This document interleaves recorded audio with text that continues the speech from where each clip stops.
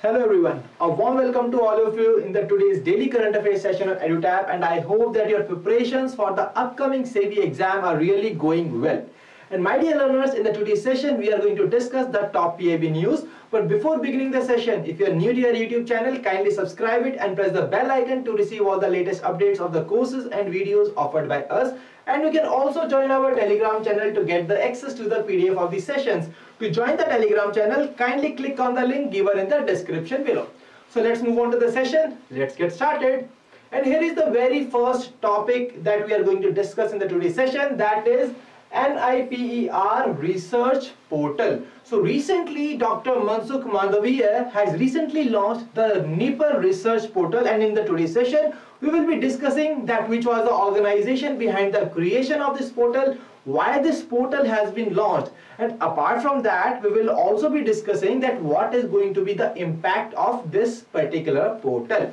So my dear learners, we all know that India See, India is one of the, it is the third largest pharmaceutical manufacturing country of the world and research and development being one of the very important pillars for the growth of one of the economies. And my dear learners, in order to imbibe the research and innovation and in order to provide a holistic ecosystem, we need to gather and to synergize the different stakeholders which are involved in the research and development in this particular sector, this particular portal has been launched.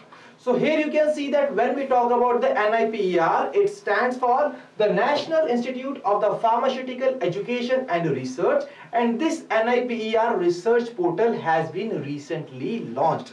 So when we talk about the organization which was behind the creation of this portal, then here you can see the very first thing that is important is the Department of Pharmaceuticals which has created this particular portal and why this portal has been launched. This portal has been launched to enhance the industry academia collaboration. See, I have already told you about this that all the stakeholders which are involved in the research and development of the pharmaceutical sector. So in order to synergize them and in order to provide a collaborative approach in the research and development for the nation, this particular portal has been created by the Department of Pharmaceuticals. And here you can see that this portal is going to disseminate the information about all the uh, NIPERs as well as the research activities and the patents which are being filed by them and apart from that the publication information at one place. So this portal is going to be a one-stop solution for all these stakeholders that is these particular seven institutions of the NIPER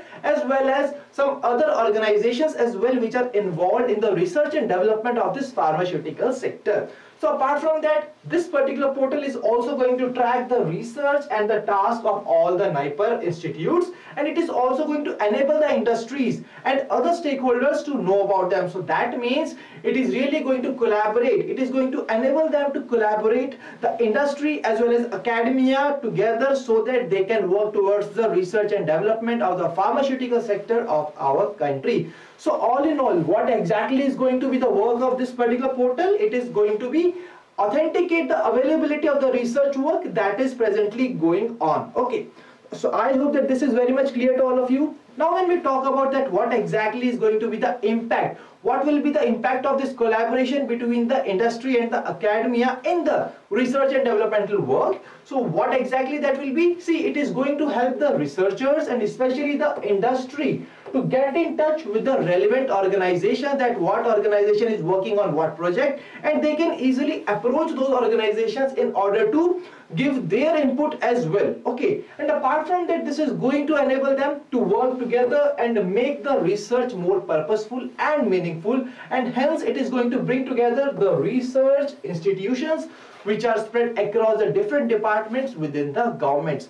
And in order to make it more impactful Recently, the Ministry of Chemicals and the Fertilizers has requested all such relevant stakeholders to join this portal and these uh, institutions are such as the Department of the Biotechnology, the Department of Scientific and Industrial Research, AYUSH, ICMR that is the Indian Council of Medical Research and also the DRDO. So I hope that this is very much clear to all of you. Now, before moving on to the practice question, let's also understand that what exactly these NIPER institutes are. See, when we talk about these NIPER institutes, these are the institutes of the national importance which are imparting the PG and the PhD degree in the pharmaceutical field.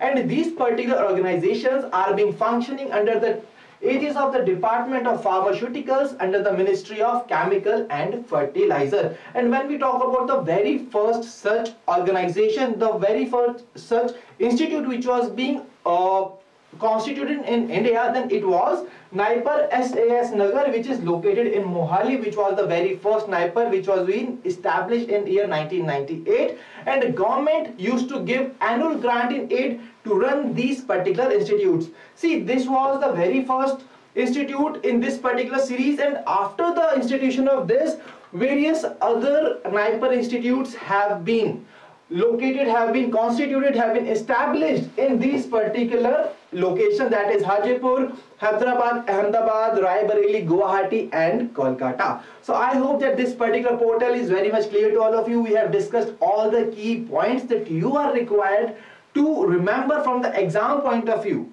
in order to answer the question successfully and now let's move on to the very first practice question which is based on this particular topic that is the NIPER research portal which has been launched recently in, order to answer this question successfully what you are required to do you are required to identify the correct statement in relation with this particular research portal and then tell me in the comment section below that what exactly is the right answer to this question. And here you can see the very first statement. It says that it has been created by the department of pharmaceuticals the second statement says it has been developed with an aim to disseminate the information about all the NIPER and their research activities which is also correct.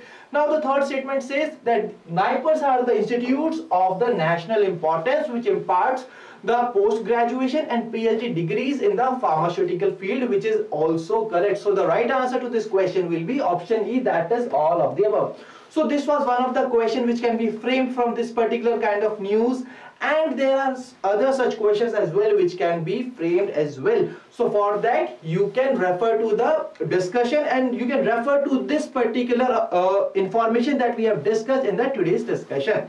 Okay so now let's move on to the next topic which is here on your screen. That is the second asian digital ministers meeting. So recently Recently, during the second ASEAN Digital Ministers meeting, which is the annual meeting, which is being held between the ASEAN countries, between the digital ministers of these ASEAN countries, during this particular meeting, the India ASEAN Digital Work Plan 2022 has been approved. And when we talk about this particular meet, this particular meet was being co-chaired by the Minister of State for Communication from the Indian side and the Minister of Transport and Communications from Myanmar. So this is one such part that is really very important that who chaired this particular meet that is these are the two people who have chaired co-chaired this particular meet that is the second Asian Digital Ministers meeting.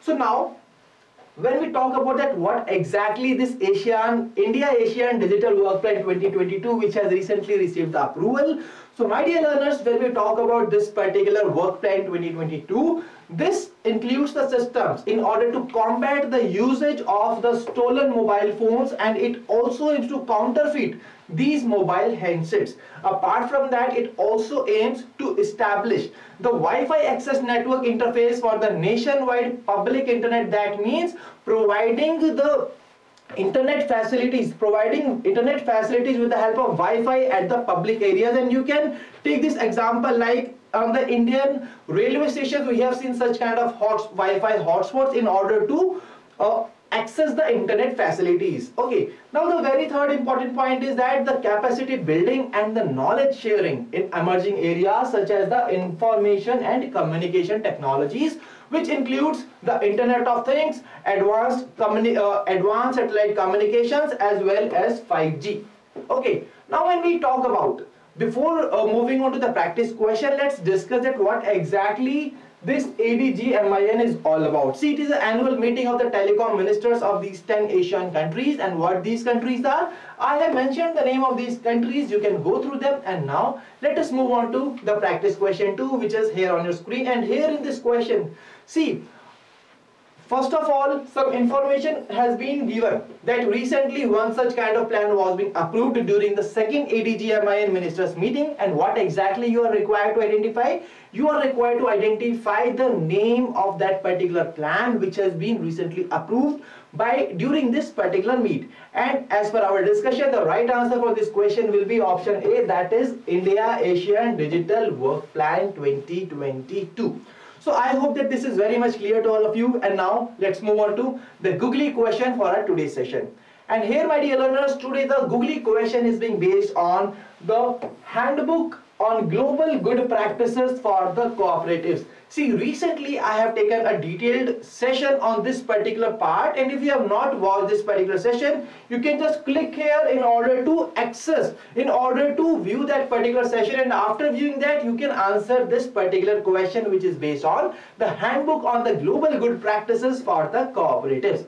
Now when we talk about the homework question from the previous session which is really really a very important question that is who among the following was recently appointed as the India's new chief economic advisor? And the right answer for this question is option A that is Dr. V. Ananth Nageswaran. He is the person who is going to give a detailed presentation. See, he is a person who has yesterday given the detailed explanation about the economic survey which was being released yesterday. Okay, so now my dear learners, when we talk about the star performers from our previous session, then I'm really happy and glad to tell you that today I'm having really a very long list of these top performers. And who are these top performers?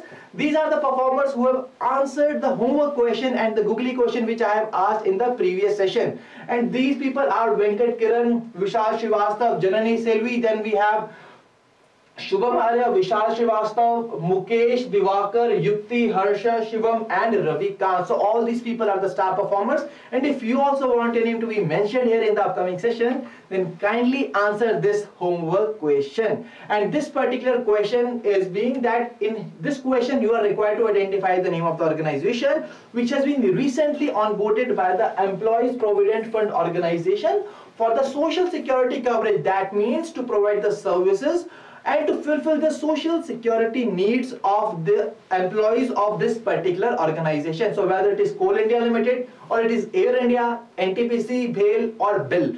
Do answer the question in the comment section below.